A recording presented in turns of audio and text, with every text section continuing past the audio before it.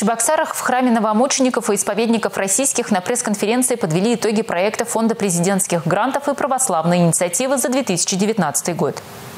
В начале года при храме открылась необычная ликотека. Дети с особенностями развития могли здесь не только поиграть, но и получить консультации специалистов. Дефектолог, психолог, логопед принимали ребят совершенно бесплатно. Та бригада специалистов, которые оказывали психолого-педагогическое сопровождение, а, смогли а, сделать многое.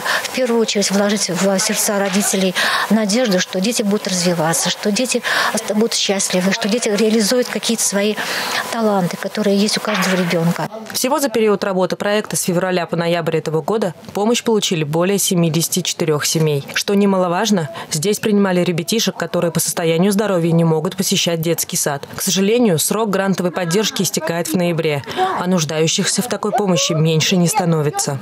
Очень жалко, конечно. Хотелось бы, чтобы проект не закрывался и продолжался, потому что это детям очень помогает и в развитии, и в общении. Оплачивать работу специалистов из собственных средств храм новомучеников и исповедников российских не сможет. Не под силу это и многим семьям, чьи дети посещали ликотеку и занятия. Организаторы проекта ждут помощи от всех неравнодушных горожан и бизнес-сообщества. Пока же Ликотека со всем оборудованием будет работать как инклюзивный центр, в котором волонтеры будут заниматься с детьми, помогая им адаптироваться. Но консультаций дефектолога, психолога и логопеда здесь уже не будет.